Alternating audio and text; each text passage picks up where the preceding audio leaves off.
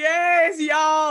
When I tell y'all I am super lit, um, kind of just echo what my husband talked about when we first jumped on. Like community night, Engage Night is a whole thing. Like I think it is best and it is our favorite um day of the week for a lot of reasons. But one of those reasons is because we get to know y'all better. Like we got to see Miss Vera doing hair, we get to see who work out, we get to see what y'all like to eat, we get to see who can't stay up doing messages, y'all be falling asleep. It's just like all this amazing stuff. We get to see who like live in the back of the church, who like to be on blast and write a whole bunch of stuff. It's just all this cool stuff. But I think um, and y'all, let me tell y'all this other thing. Like, I don't know what it is. Like, I have always been this avid person about like I'm not a coffee drinker.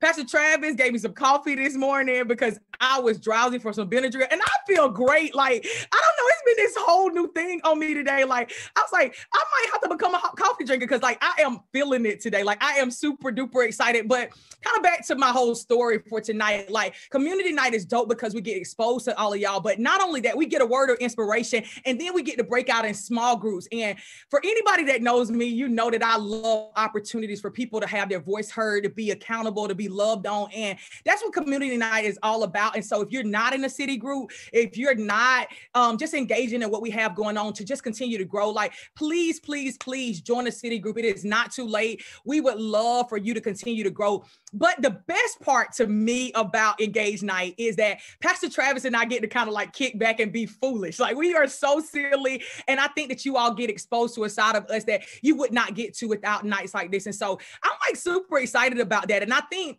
um one of the things that's just been super big on my heart, I think if you just kind of looked at Pastor Tra- Travis and I at face value, or even just some of the silly stuff that we've said on stage, you know how they say that adage, like don't judge a book by its cover, that you can sometimes start to feel like, oh yeah, like I know everything about them, or they're just this one version, or this, they're just this one way. But all of us have said that like you can't judge a book by its cover but we all have been guilty of that. Like anybody in the room like you know you see a person for one the first time or maybe the first few times and you know like just based on the way they dress or um, how they respond to a situation you start feeling like oh yeah i know everything about them. I know what's going on. And I don't think, and I, I say this a lot, it, there is anything worse in life than somebody feeling like they know you and you know they don't know know you. Like you ever been there? Like they telling you like they done heard about you or they done watched your family on social media and they automatically start to assume like, oh yeah, I know everything there is to know about a person.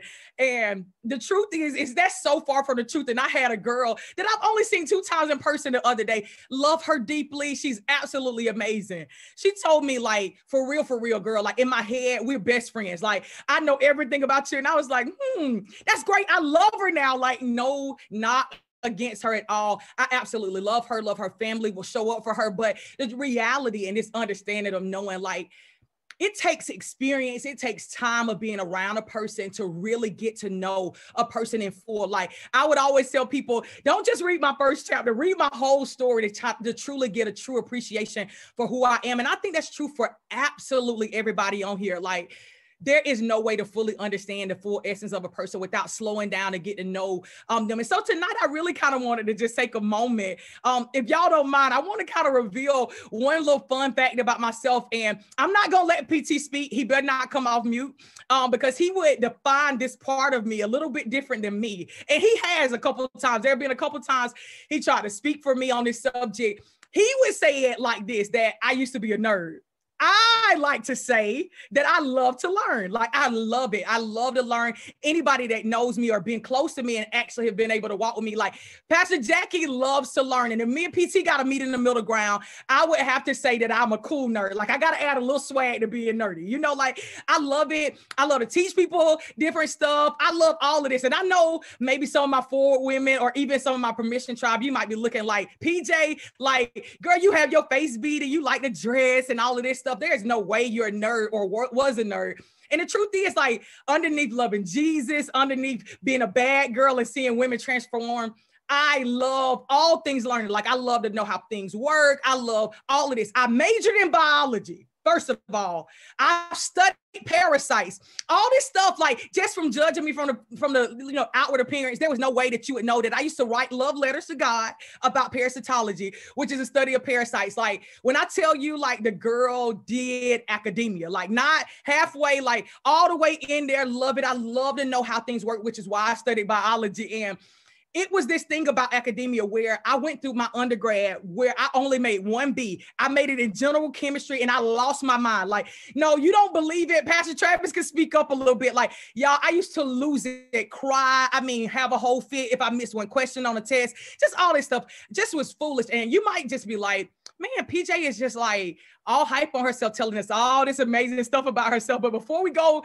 too far into that narrative, the reality that I wanted to share with y'all tonight is that God stepped into a strong place in my life. Like in this area of learning and loving to learn, He stepped in. And when I tell y'all, He exposed in the worst way this need that I had for perfection and knowing it all. I had to have all the right answers and everything had to be perfect. I had to cross every T and dot every I. Do I have any a recovering perfectionist or maybe some people that are still dealing with perfection on the call tonight? If so, drop it in the chat. Anybody with me on this whole, like I was in the AA program, I'm a perfectionist and I had to be delivered from this need to have control and get it all right and cross every T and dot every I. Like God was just it's funny, like I felt like an undergrad, like I got my summa cum laude, I got my 396, and I was killing it. I was feeling great.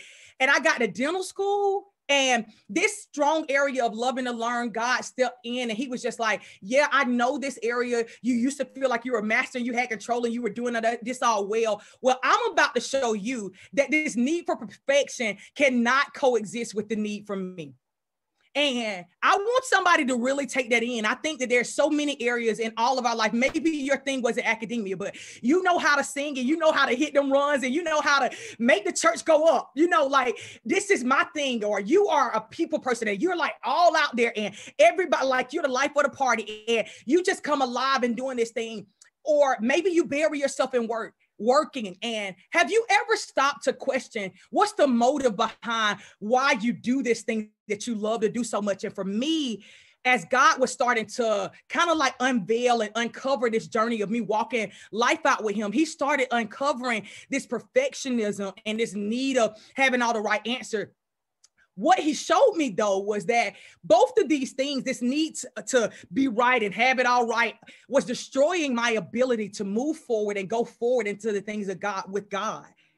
I felt like, you know, like having it all right was what you're supposed to do. You know, God, and I used to quote scripture. You know how we do. And I don't know if I got some over churched in the building. Like I used to tell God, like, no, God, you said I'm the head and not the tail. I become, I come behind and no good thing. So surely I'm supposed to be the top of the class. I'm supposed to be excellent. I got to do all this stuff. And God was like, Yes, sweetie, I did say all that, but how you do all that is a big piece that you're missing. Like the armor of flesh is not supposed to be your strong place. And so I want to read for y'all something that God showed me in the Bible tonight as he was kind of uncovering this need to have all the right answers and all of this stuff.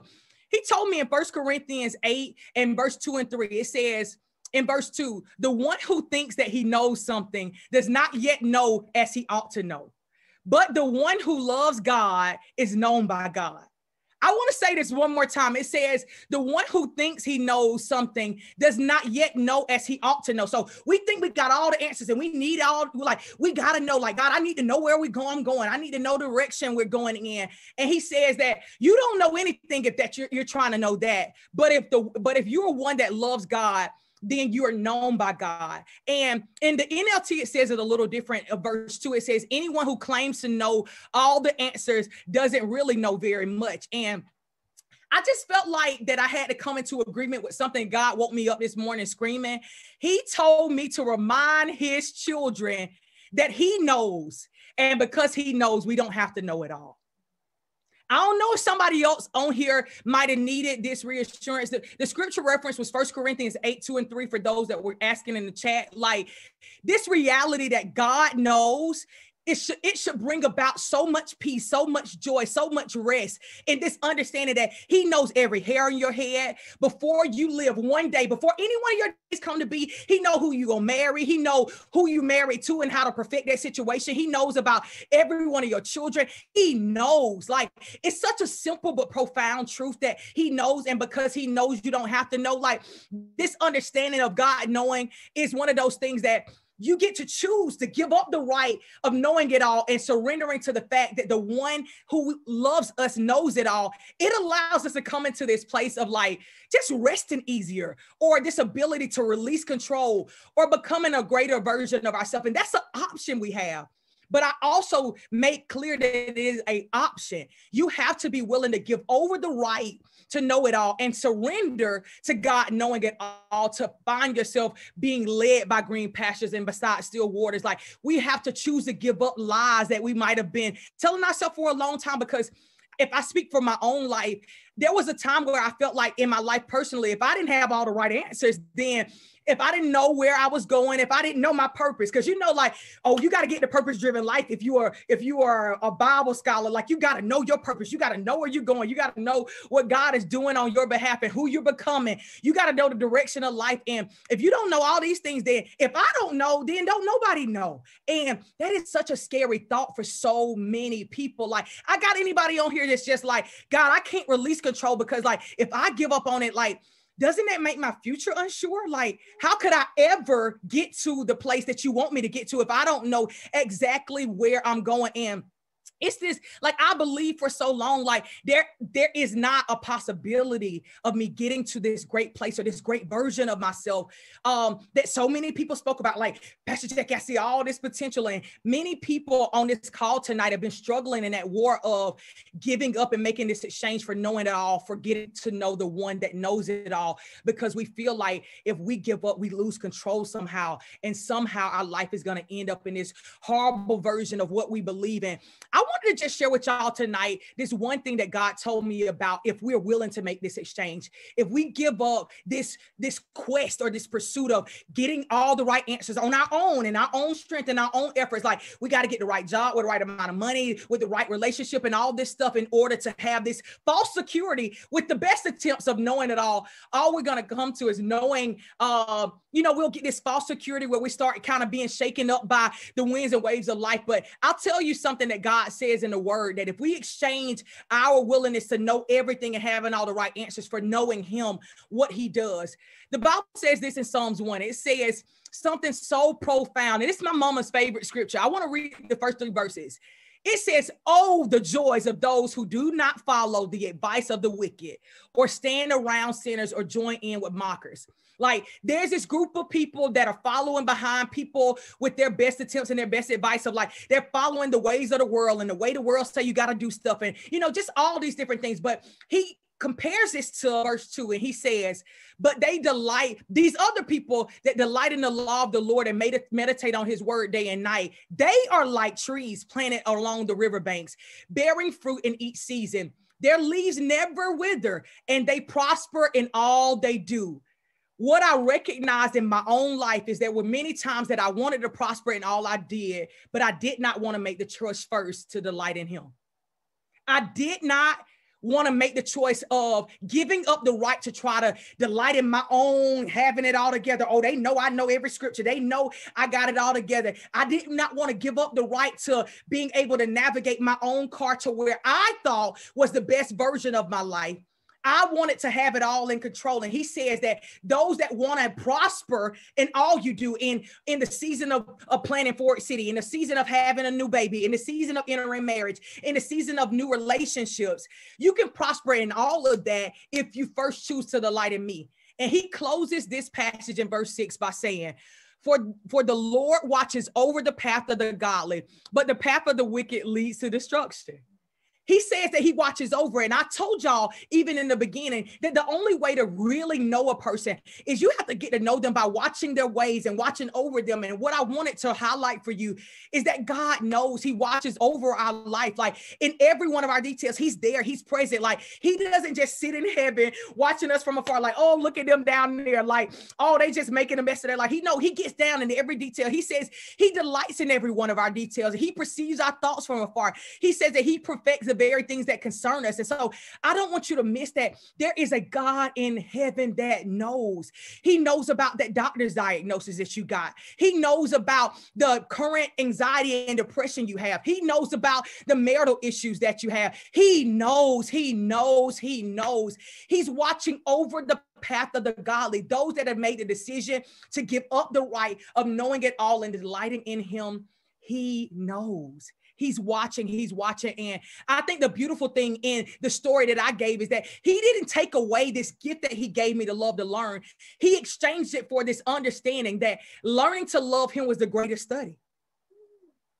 I didn't have to give up loving to learn. I didn't have to give up this quest for learning more knowledge, but I had to decide that the greater study was getting to know God and loving Him and loving His ways and meditating on what He said about my life. That He said that I was ahead and not to tail. That He said that my salvation was a gift and that I didn't have to work or earn it. And those truths that I could delight in Him or that He perceives my thoughts from afar. That He said that um I could um, lean on him, that I, I could acknowledge him in all my ways and that he would direct my path. Learning to delight in that and giving my way and giving study to that. Learning what it felt like when Jesus walked in a room was way more impactful than me knowing the answers to every little thing. And the truth is, he didn't just say that he was a greater study, he said that he was the answer to every one of my questions.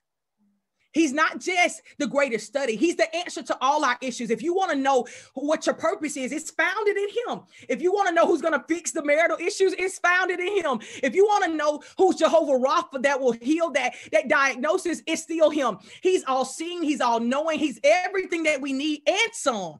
He's more than enough, and he's everything we need. All I had to know was the one who knew. Do you hear me? We don't have to know everything. We just have to recognize that we know the one who knows. And as a result of that, we shift from having this false reality of security and value in ourselves to having true security and this unshakable faith, this confidence in the one that knows. It's this reality of living every season where we're delighted in learning to love God and knowing that He will shift our life to know that in every season that we'll bear fruit because he'll be able to bear it through us because he's the one that knows how. The Bible talks about in John 15, if we abide in him and he abides in us, that he will be able to bear fruit and not just fruit, much fruit and fruit that'll last. And I'll just tell y'all that this reality, this truth of giving up this pursuit to know it all on my own and have it all together. But when I recognize that he knew he knew how to wipe the tears that I was crying because I was trying to hold the weight of my world. I was trying to get it all perfect. And that I knew that there was a God that before I get to any day on his divine calendar is there. Before I met the love of my life, Pastor Travis, he knew him. He fashioned and formed him for specifically for us to walk together.